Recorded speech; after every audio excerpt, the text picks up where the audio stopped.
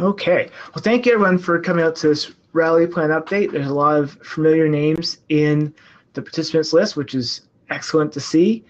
Uh, thank you to everyone who's been involved in this project so far, the Sakai Accessibility Working Group, people like uh, Neil, who's invaluable, um, Gonzalo from Michigan, uh, Matt Jones from uh, Longsight, and others that have been involved in that group for a while. I'm. Uh, I think as a lot familiarity generally that Sakai has an accessibility uh, project underway, but I'm going to take some time to introduce everyone to what that is taking the form of. So if my slides successfully advance, uh, here's here's the agenda for today. I wanted to uh, get a brief introduction from those who are here. So if you uh, want to grab the mic and uh, mention who you are, what institution you, you are coming uh, to represent or not, and a summary of why accessibility interests you or your institution, that'd be great. If you'd like to type that into the chat room, I'd be happy to summarize some of them as they go by. Whichever is your preference, um, uh, I'll yield the mic in a moment, and if you want to get typing, you're welcome to get typing. I think it's nice to know that there's a community. I think everyone uh, assumed there was, but it's nice to see uh, what brings people to the issue of accessibility, especially in Sakai. So I really appreciate that brief little bit of insight. Uh, I'll. I hear words. Oh, um, yeah, I just turned my mic on. This is Marilyn from Ithaca College. Excellent. Uh, give, give me a sense of uh, what, what brings you to uh, this update today, Marilyn? Well, I, I, I posted on uh, the list a couple months ago because it was we have a blind student here at Ithaca College, and our disability office is printing everything from Sakai because he said the accessibility was so horrible. And I had posted that, and I tried to get him to come in to get more specific. We're, we're running a 293 now, and we're upgrading to 10 in August. So it might maybe that solves some of it. But he was just like it's unusable, and there were a couple reasons. Um, really, really long um, file names and JPEGs. But in any case, he said it was unusable. But I didn't actually get more information. So I'm I'm curious to see what the community's doing and how Sakai is evolving to maybe make it more um, uh, tolerable for the blind students. All right. Um, I'll talk about some of those issues, and uh, I'm, I'm glad that you've got an authentic kind of uh, experience to, to that's uh, driving you on here. I see uh, Adam introducing himself from Oxford and the importance of accessibility to them. Uh, Tricia from UVA. Louisa from Marist. Uh, from Tufts. Michelle Irvine from University of Virginia again. Tiffany Stahl from University of Virginia, um, and Christine from Rutgers, uh, Terry from Kentucky Christian University. That's a new one for me to, to see. Um, just update. Uh, I hope I'm pronouncing your name right because I see it so much in Sakai Dev mailing list, which is great to see. Uh, Taijin from uh, from uh, Gordon Cornwall, Steve Bernholt from Oxford, and uh, a number of people mentioned they've got official office for accessibility accommodations, and um, you know, I think generally, and myself included, where does Sakai, which I have some kind of responsibility for, and that office relate to all this is something that a lot of institutions and people in the the uh, position I assume you're most of you or many of you are in uh, are trying to reconcile. It's Wilma from Longsight. I get wants to get a sense of accessibility in Sakai. Uh, sort of haven't had a chance to read everyone's uh, chat messages there, but I appreciate everyone making a comment. Anyone else want to grab the mic?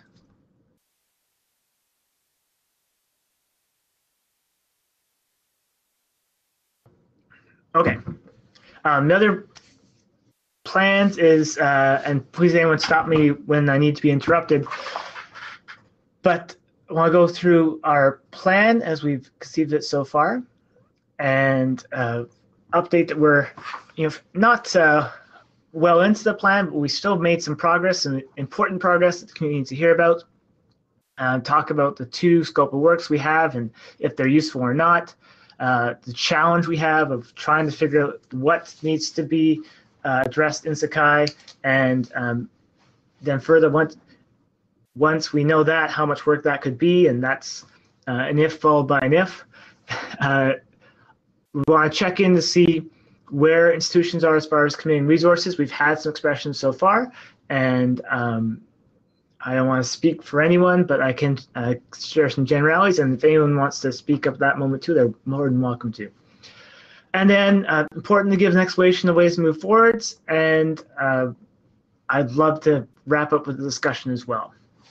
So without further ado, uh, I think everyone's familiar with the uh, short form of accessibility down to A11Y for dropping 11 letters of the middle of accessibility. It makes a nice hashtag and uh, a handy little simplification of a long English word, and it lets you pronounce things uh, uh, as ally with the ones in there representing uh, two L's. So keeping that in mind, we came up with the rally plan for Sakai to review accessibility and um, a community needs a good rally point.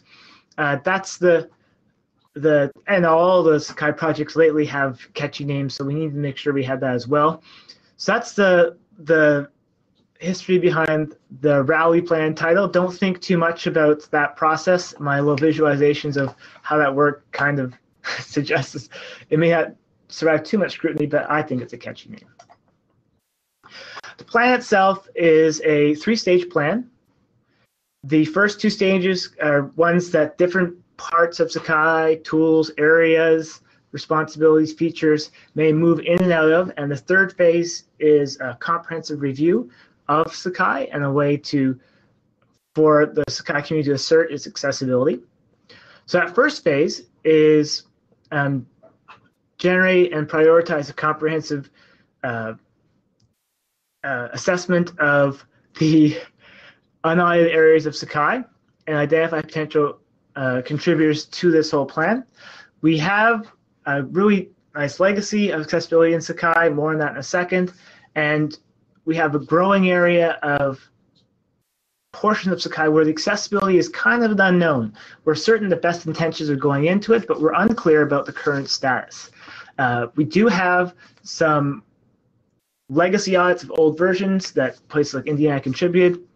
We have two uh, audits that were partial audits, pardon me, that were commissioned of Sakai 2.9 that uh, Brock University, institution I'm representing, and Longsight have contributed to the community. Those were great resources, welcoming. Uh, those are great resources to have. It's also just as great to have all our room one people sliding in. Great to see you. Um, uh, on the uh, in room two, I know we had a last minute room change, so it's uh, great to have everyone sliding in there. If you haven't had a chance to uh, see our agenda for the day, it was shared in advance, and if you scroll up in the chat room, which I'm hoping big blue button will let you do. Uh, there's links to the Google presentation as, as a presentation or text. That could be handy. And, and if you were waiting around for me in uh, room one, all you've missed are introductions, and I'll give you a chance to update us as well. So uh, just a momentary welcome uh, to the room one folk, and thank you for your perseverance. Related, uh, we're still uh, persevering in the area of accessibility Sakai. We we have our current resources of some partial audits.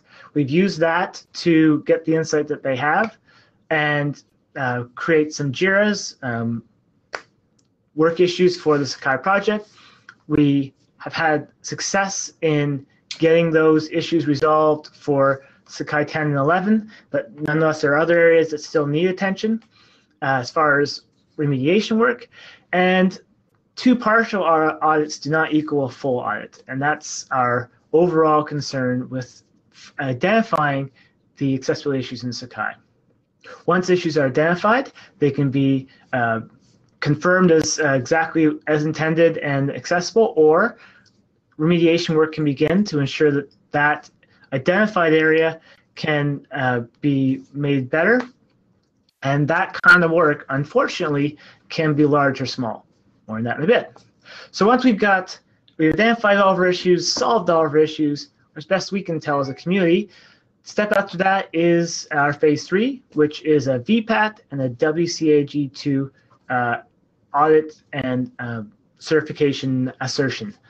So uh, I'll explain those terms in the coming slide, but the idea being in phase three, we do a VPAT, which is a voluntary product assessment template, I believe, which is a sort of self-study around the accessibility of your uh, product. And if we can go through a self-study process, we've got a low but nonetheless important uh, standard met for accessibility of Sakai, and we have some confidence that it's worth spending the money to have a tier one uh, organization uh, like the National Federation for the Blind in the US, or an equivalent to do a review and assert the uh, higher standard WCAG 2, or WCAG is another way people shorten that, uh, accessibility of Sakai. So I'm going to, there's a lot of terminology in there, a lot of jargon, so I want to get a chance to explain that, and I will. But the important thing is step one, take the audits and resources we have existing and also do larger um, uh, audit work on Sakai, identify issues. Step two, fix those issues. And one and two could go back and forth. Step three, get do a VPAT to do a self-study of our accessibility, and then shoot for having a third party uh, certify our our WCAG2 level accessibility. I do. I don't want to lose track, though, as I mentioned these issues, that Sakai does do a pretty good job of accessibility. Um, we've have a good legacy. We've had a lot of important work done by University of Indiana Adaptive Technology and Accessibility Center. They were a great resource. That's a part of our community that's kind of stepped away, and that's okay. It's part of having a community. People uh, come, as my screen uh, moves around on you, uh, people will come and go, and that's part of the natural process. Um, but at the moment, we don't have what was a great resource involved in our community. Um, but we still have that legacy we our future directions uh, for Sakai also look good. Things like um, good help information in Sakai is currently available for Sakai 10 uh, about creating accessible content, more just providing accessible tool. We're trying to give guidance to instructors and students about creating accessible content. And innovations like the, the Morpheus project have show a lot of promise for moving iframes is uh, almost always a positive step as far as accessibility, and responsive design is a major enhancement as well. Uh, I think people who have a little bit of experience with persons with disabilities may have observed that a lot of those individuals prefer some mobile devices. If you think about alternative interfaces, uh, a lot of that was about zooming and uh, high contrast. If you can think of that same individual using something like an iPad, zooming is so immediate and easy. High contrast is a quick setting. There's a lot of reasons why individuals using alternative interfaces for Sakai may want to use a mobile device, and Sakai 11 and Morpheus project are really uh, uh, making that possible for everyone. So I mentioned WCAG2. WCAG2 is the World Wide Web Consortium's Web Content Accessibility Guide version 2. I always call it WCAG2 because I think it's a little more uh, comprehensible that it's an acronym, but a lot of people call it WCAG, which uh, makes sense, just the acronym spelled out. It's probably how a lot of screen readers, older screen readers read it. Um, so WCAG 2 is a global standard by W3C, which brought you such things as HTML, and um, it's I may, including myself, consider to be a higher standard than the Americans with Disabilities Act Section 508, which is a useful standard that it's very um, easy to automatically test for, but significantly, WCAG2 has things like talking about making sure meaning is clear. Meaning is a tough thing for a computer to test for, but perhaps the most important thing we're talking about human beings trying to access our software. The other important thing about WCAG is it's a globalized standard. Um, speaking from me from Ontario, Canada, where our Accessibility for Ontarians with Disabilities Act actually cites standards from the WCAG as law which is ideal for us in that we've got a legal regime we need to operate on, but we don't have to worry about things like our LMS or other tools uh, conforming to an Ontario standard. We need to make sure that they conform to a global standard that just happens to be the rule of law for us. That's the case in Ontario, Quebec, and Canada, uh, and by implication in other provinces, Australia, the UK, um, and other of institutions have adopted WCAG2 in uh, a legal situation. The other interesting development in accessibility, uh, many I'm sure has tracked this, is the situation with edX, Harvard MIT's uh, MOOC project. Their settlement uh, with a lawsuit brought by, I'm skimming my notes and not spying it, that, was nonetheless um, adopted by the Department of Justice the settlement, which is not exactly case law, but nonetheless the settlement they came to, uh, did suggest that all the edX websites needed to meet WCAG2 and related that back to the uh, ADA. And uh, Title 2 of the ADA prohibits discrimination on the basis of disability by state and local government entities. And it was interpreted that um, standards in the ADA itself uh, addressed or not addressed, WCAG 2 level AA was a standard that edX needed to meet. So that's, uh, I think, an important development in uh, web accessibility around teaching and learning, and just uh, confirming that the WCAG2 is the way, uh, is the measure that we should be considering. Related, uh, Miami University, a uh, Sakai University at the time also had a lawsuit started against them from uh, the NFB, and that has proceeded to, uh, I believe, settled out of court. Nonetheless, DOJ got involved, and they are also being asked to meet WCAG 2.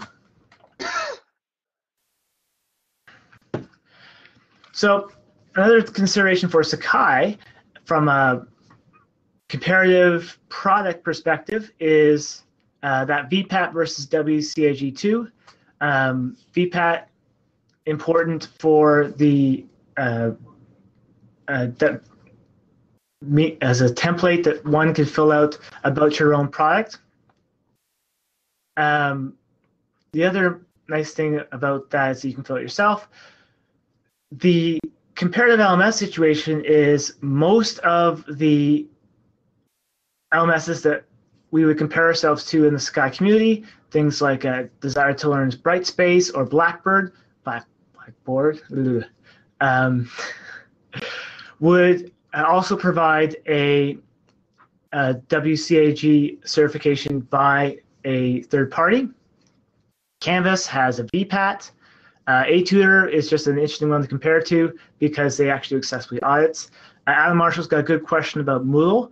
I haven't found a uh, uh, we meet the standard uh, on the Moodle.org site. I did a little exploring through Moodlerooms and Moodlerooms relationship to Blackboard. Uh, I, I stopped at that uh, tricky investigation. But if anyone does know what the formal uh, accessibility situation is with Moodle, I would love to know, and I'm sure if you can cut and paste the URL into the chat. Uh, people would love to see as well. Um, Moodle question aside, um, my concern is that as you look at these uh, list of other LMSs, and especially in things like the selection process for institutions considering their future LMS, knowing to, uh, well, let's say definitively, the accessibility standard of these LMSs is important. I know at our university and in many others, accessibility standards are included in procurement practices. And for a competitive sake, Sakai needs to be able to respond to those kinds of uh, RFPs and other things to suggest it's accessible. And from a teaching and learning perspective, we want an accessible. Thank you for that link to uh, Moodle's uh, accessibility URL in the chat. From a teaching and learning perspective, we want to know that we're giving teachers and learners something that they can use regardless of their um, individual capabilities. So I wanted to pause there and ask if there's anything I can clarify, explain, um, or revisit. Either you can welcome to grab the mic if that's possible, or type something into the chat.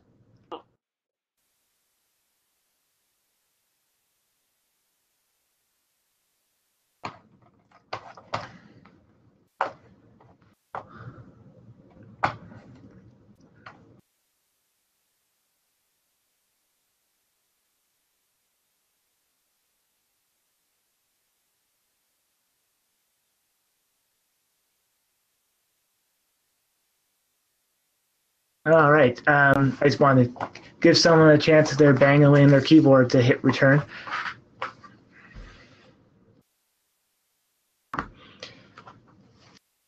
Okay, well, um, that's, as I see it, the state of Sakai state of uh, state of the uh, competitive situation.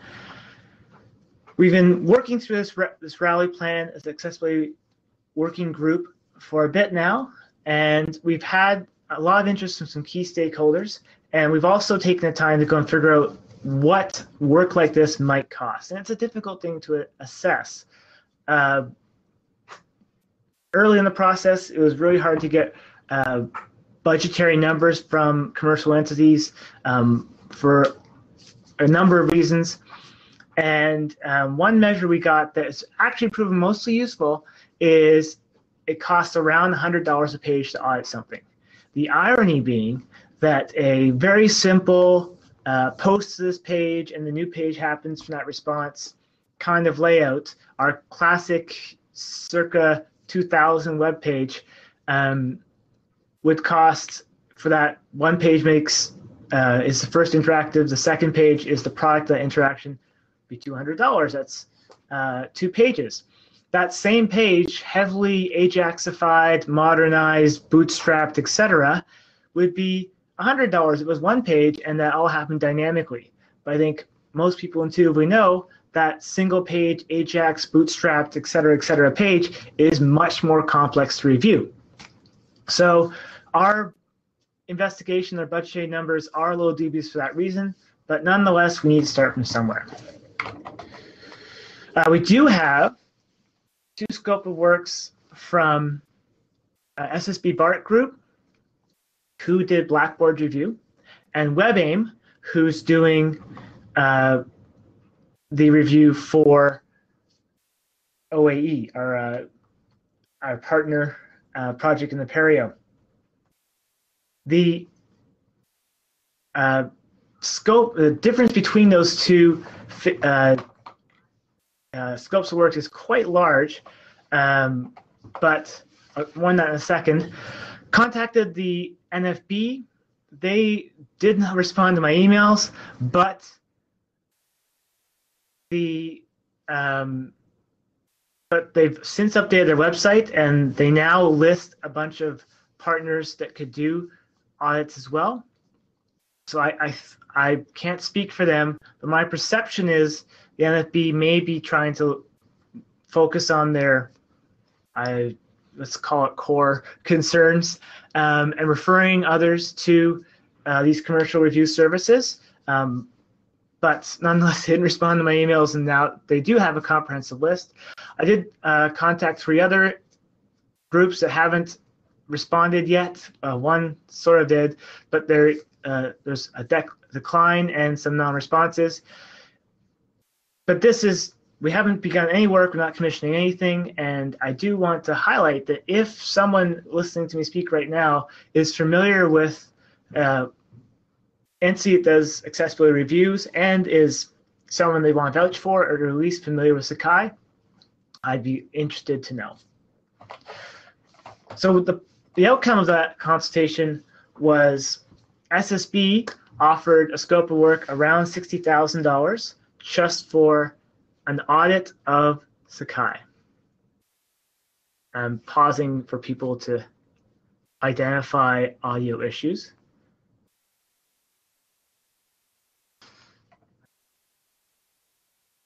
Uh, okay.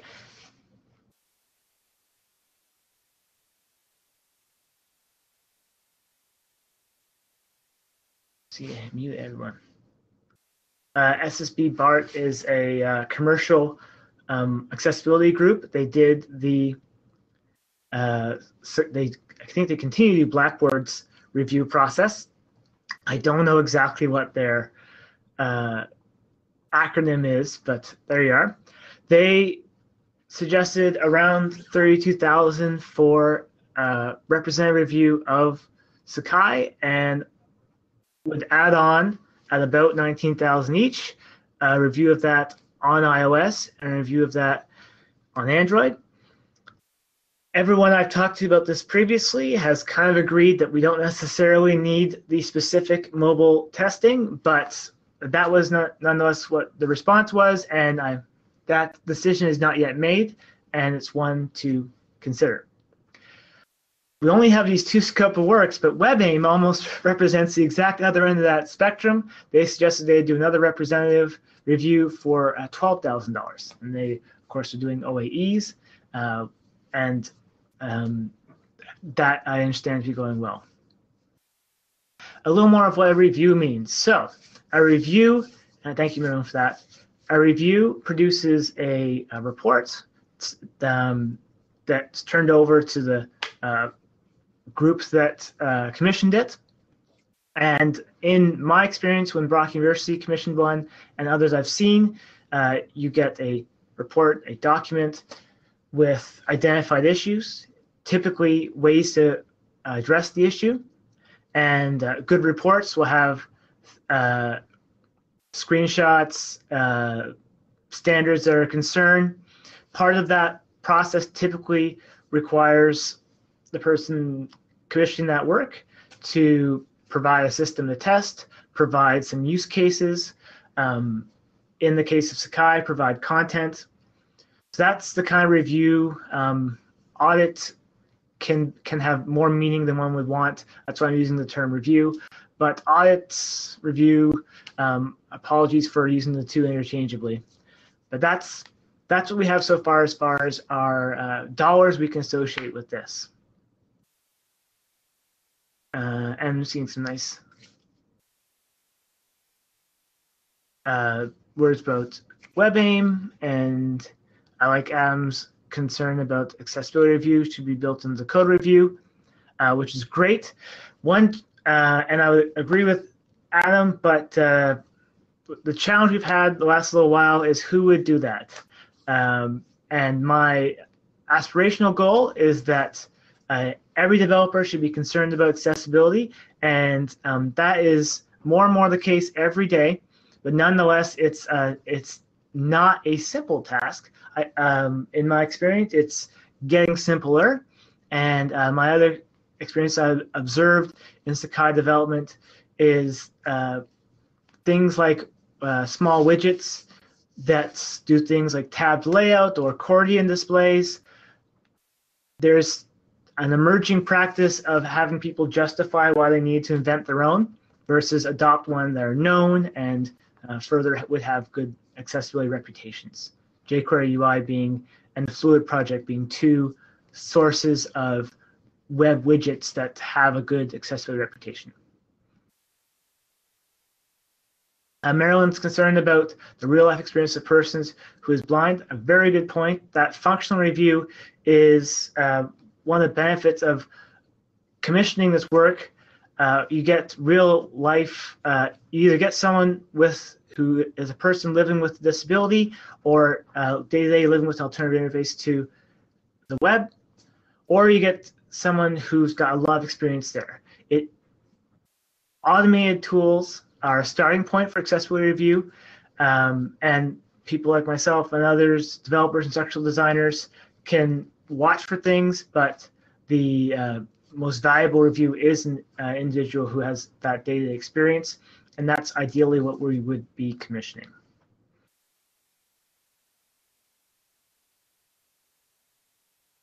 Adam threw in there, how about a uh, accessibility checklist for developers? Um, there's a much too long list of resources on the Confluence uh, site for the accessibility working group, and uh, I have on my to-do list to um, kind of curate down some go-to stuff. And the other challenge with a checklist is um, uh, WCAG is a checklist, so the it, it's more that in specific situations, what subset do you need? And I hear that feedback, and I want to try and do something to make that better for developers. Okay, and then the other important thing is uh, a review or audit, which we, which I'm using almost interchangeably, um, is that that's only the identification. We still would need to actually do the work. And that work could be trivial. Um, an example of that is work on lessons so far. Um, the work on lessons so far has been uh, from the earlier partial reviews. Those the changes identified were things like adding um, ARIA roles, uh, single properties on tags, and the way that lessons is built. It was uh, apparently quite simple to make the modification once it's identified.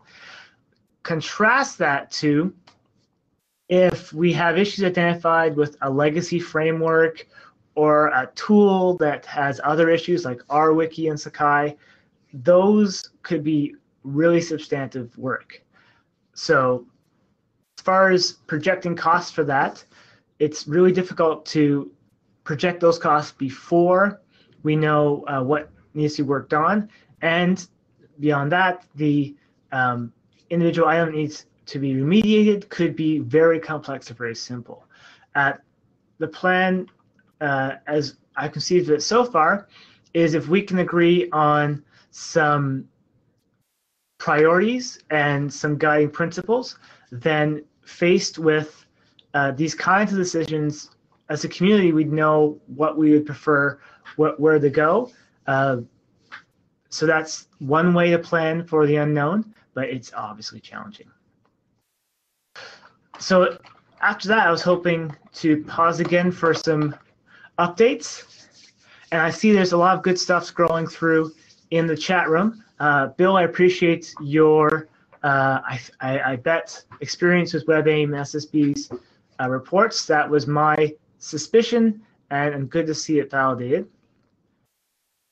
Uh, Louisa, I'm glad to hear there's work happening lessons. They've been really receptive to the feedback they've gotten.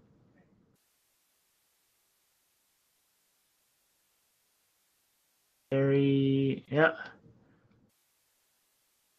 Uh, uh, Terry's got a question about screen reading. I find the best uh, screen reading tool out there that's uh, free is Chromevox, built in the Chrome. But NVDA, it, Bill's recommended, is a free um, tool for Windows that has built, well, it's, it's Australian uh, of origin, and uh, it's a free screen reader for Windows, it's just nice to have. Chromevox is built in to, as a Chrome extension. Um, everyone knows that uh, most people know, pardon me, that JAWS is kind of the definitive uh, screen reading tool, but it is quite expensive.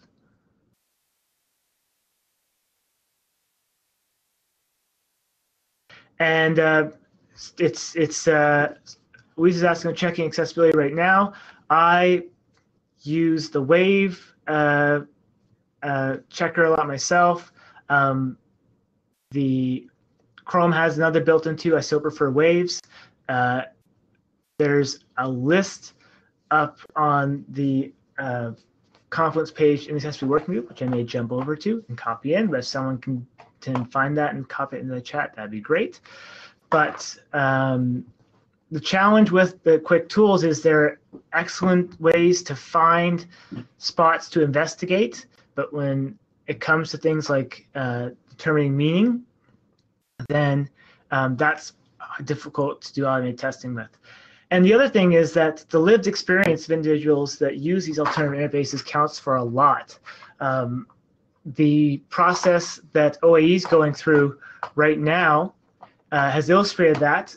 If uh, you find yourself on OAE's uh, website and their blog, and I think I can do this one pretty quickly, they are working through WebAIM right now, and they have a really simple example of the kind of accessibility concern that um, some may not notice or what a developer may not intuitively notice. And I'm just grabbing the URL now. Oh well. It's the second uh, blog post over at uh, OAE's um, blog. WebAIM worked with them and identified that in one of their um, forum discussion chat dialogues, they have a picture of the individual, an avatar of the individual, their name, uh, a relevant time of when they posted, and then the message they posted. The um, the feedback they got from WebAIM was the experience of individual viewing that page with a screen reader was the screen reader read off, reads off the alt text for the image, which they had chosen to be the person's name. And then the very next thing that the screen reader encounters is the person's name. So uh, the screen reader sounds something like Matt Clare or image, Matt Clare, title, Matt Clare. About five minutes ago, I did blah, blah, blah, here's my posting. So the, what they're moving towards is, I believe, leaving that alt tag blank, knowing that the screen reader is immediately afterwards going to encounter that person's name. So that, those a simple example that I really appreciated of how um, a screen having someone who uses a screen reader, a functional test of uh, a web page can give insights that otherwise a simple standard or um, someone immersed in development might not observe. Um, talk about JAWS. Uh, thank you for clarifying the screen reader. There is a JavaScript framework for um, accessibility testing that I've got in my notes, and maybe I'll circle back around to. Um, but there is a JavaScript-based one. That would be quite the boon for Sakai to ship with and immediately check uh, accessibility. Uh, content is created, but I think that's a separate issue. Uh, my the concern and focus of the Ra11y plan is ensuring that um, the Sakai uh, portal of itself out of the box comes at comes to end users, teacher, teachers and learners and others in a manner that we know is accessible, both so that it is accessible and that uh, we we can uh, make that promise.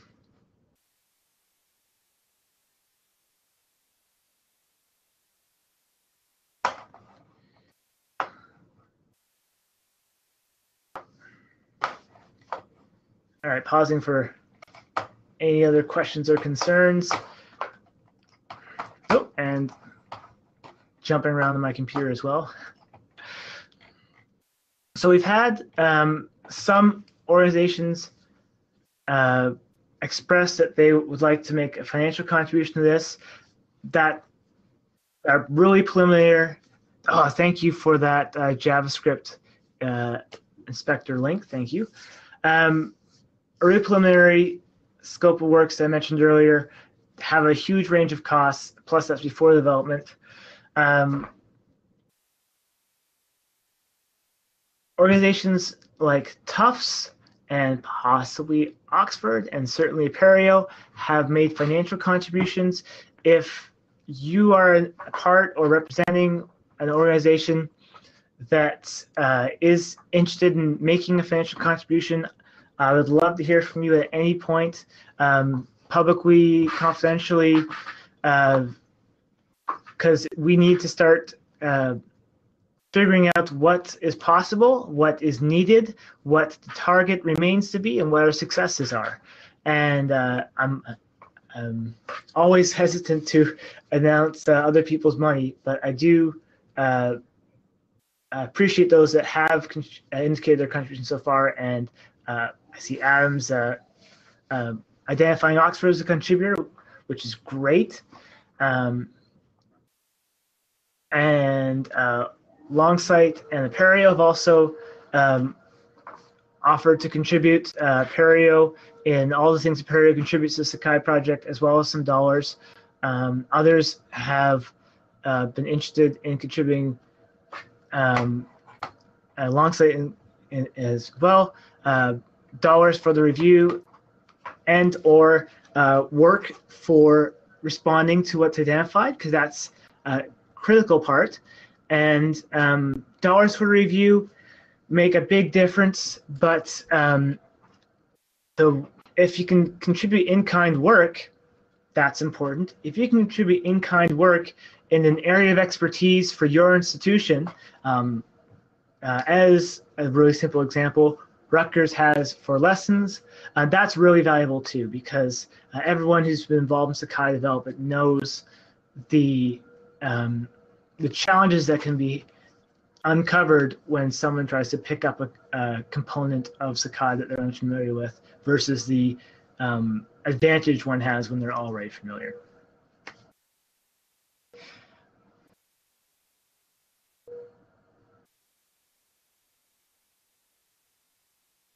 Thanks, Karen, mentioning that uh, the Durham Tech received funds for donations that they can con contribute. Uh, Karen and I have talked uh, through email, and congratulations, Durham Tech, for receiving a grant for their excellent work um, in, I believe, employing uh, individuals that are blind. And that uh, donation, I believe, was in recognition of that great work. Hey, Matt, this is Neil. Um, Adam had a question twice about what happened to the Sakai 2.8 accessibility statement that was at the footer of every page. Personally, I, I don't know. I don't know if you know either. Uh, I don't know either. Um, and that's one of those areas of Sakai that gets uh, locally modified a lot. Um, so, uh, yeah, uh, so it's tough to track. And it was part of the old help. Uh, I do know that the old help uh, had reference to contacting um, Brian Richwine at Indiana. He's was a great resource for Sakai, but the poor guy just emailed me about a month ago um, asking why certain institution students were still emailing him about uh, accessibility. Uh, because they have old documentation. So uh, why is it not there? There's still a help document about accessibility that is just a, um, a revision of the older one and updated. Uh, it just mentions reaching out to Sakai uh, for inquiries. It doesn't have a direct email anymore. And uh, my understanding of that statement was uh, it's more information referential, talks about the access keys, talks about um, ways to interact with Sakai through alternative interfaces. It's not, as I recall it, not a statement about the specific um, standards met by Sakai, more about the here's ways to interact with Sakai through alternative means. And as far as it being on the footer, uh, I, I think that's part of the documentation shift. Uh, the help shift, I should say, to be more specific.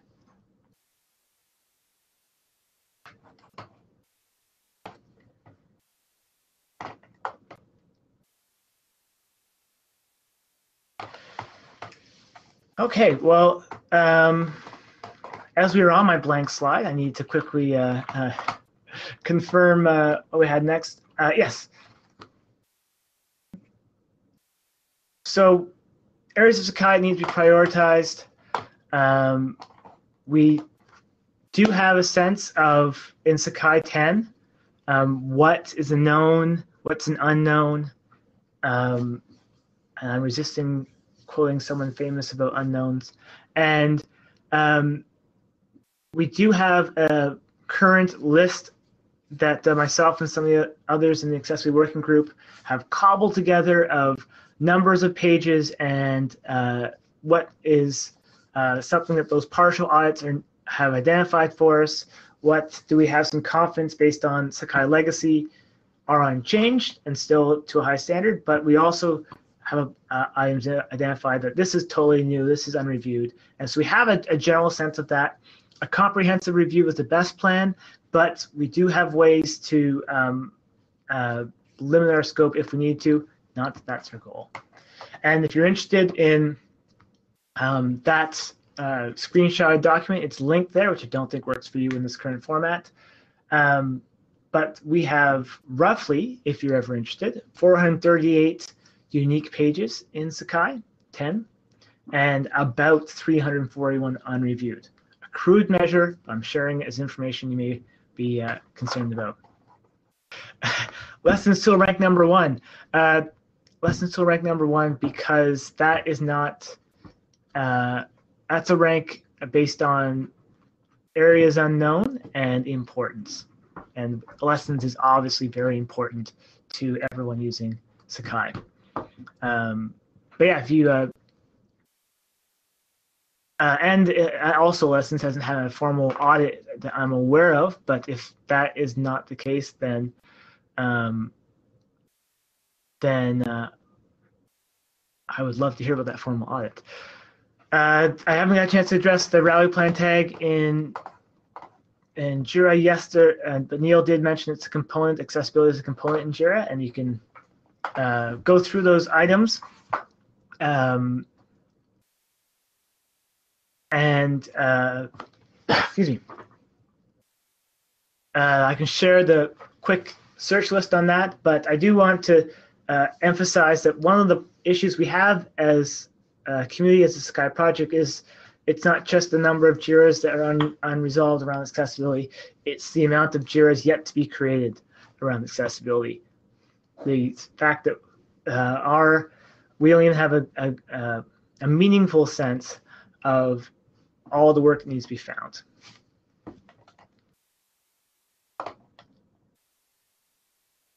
So uh, in summary, um, this is a great community that we have somehow managed to cobble together from around the world of awesome people that are motivated to make the best uh, learning management system that could ever be made. And I think that counts for a lot. And I think that we can use that to great advantage in addressing this issue. Um, I think that um, that the uh, challenge before us is not one that we can't meet. And I think that um, even though today Sakai can't formally suggest that it meets a, a standard of accessibility, um, one thing it can say that it's a community that is very concerned about and takes it very seriously and values it a lot. And uh, next step is just to, to uh, identify that or prove that, um, if I can say that word, uh, from here on out. So I'll turn it over to any uh, follow-up summative questions, but that's the presentation I had here. If you'd like to uh, hang around and chat about accessibility in Sakai, I can hang around. If you want to talk um, uh, offline or through other means, I could have left my email address on the slide but didn't. Um, but that's a good place to reach me. It's uh, matt.clare, C-L-A-R-E, at brocku.ca, uh, which is dropped in the chat room track me down on uh, Twitter or join our Accessibility Working Group uh, conference call every other Thursday, not tomorrow, but a week tomorrow at uh, 2 o'clock Eastern, and watch the Sakai Dev mailing list for that. Thank you, everyone, for your participation. I hope to uh, both hear from you and to have great news to share about this soon.